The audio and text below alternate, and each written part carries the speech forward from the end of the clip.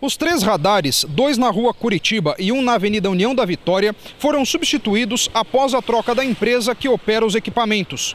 Porém, este aqui, na Curitiba, entre as ruas Rio Grande do Sul e Sergipe, é o único que ainda não está funcionando. Depende da substituição de um poste pela Copel.